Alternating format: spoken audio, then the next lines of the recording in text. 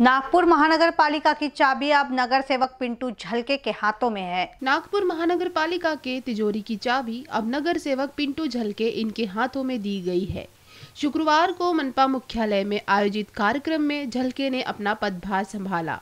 इस कार्यक्रम में महापौर संदीप जोशी उप महापौर मनीषा कोठे सत्ता पक्ष नेता संदीप जाधव, संजय भेंडे, शंकर तिवारी सहित अन्य मान्यवर उपस्थित थे।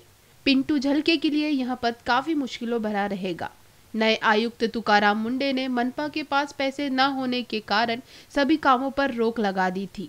ऐसे में मनपा की स्थिति को मज़बूत करना उनके सामने चुनौती रहेगी। पिंटू झलके ने हमारी टीम से बात करते हुए यही विश्वास जताया कि सभी के साथ मिलकर मनपा की स्थिति वह मज़बूत करेंगे। सर्वप्रथम मी भारतीय जनता पक्षाच्या सर्व नेत्यांचं आणि नागपूर महानगरपालिकेतल्या सर्व नेत्यांचं सर्व गटनेत्यांचं मनापासून आभार मानतो. मला जी जबाबदारी मिळालेली आहे आपण जरी म्हणत असाल की हे काटेरी मुकुट आहे पण मला असं वाटते समन्वयाने सर्व गोष्टी साध्य करता येईल.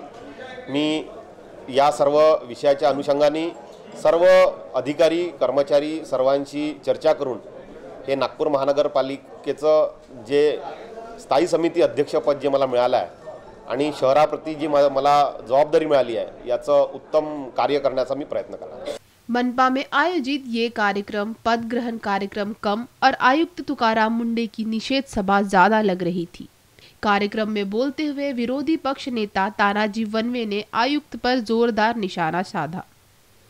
उन्होंने मनपा बर्खास्ती पर आयुक्त पर निशाना साधा, कहा कि पहले वह मुंबई पालिका बर्खास्त करे। महापौर संदीप जोशी ने भी आयुक्त पर निशाना साधते हुए कहा कि आयुक्त नियम तोड़कर काम कर रहे हैं। नाही, माझं काय म्हणणं बरखास्त करा. पण कारण पाहिजे ना. केवळ जर तुम्हाला बरखास्तच करायची आहे, तर अनियमितता झालेली का? कोणी काही दोषारोप सिद्ध झालेले आहेत का? ही महानगरपालिका तीन चारदा मी बरखास्त होताना पाहिली आणि परत येतानाही पाहिली आहे. तर पहिले जर बरखास्तच करायचं आहे तर मग महाराष्ट्रातल्या सगळ्या महानगरपालिका बरखास्त करा. मुंबई महानगरपालिका का म्हणून बरखास्त करू नये. होई आणि नागपूर महानगरपालिका केवळ आकसापोटी जर तुम्ही बरखास्त करणार असाल तर तुम्हाला हा अधिकार नाही आहे.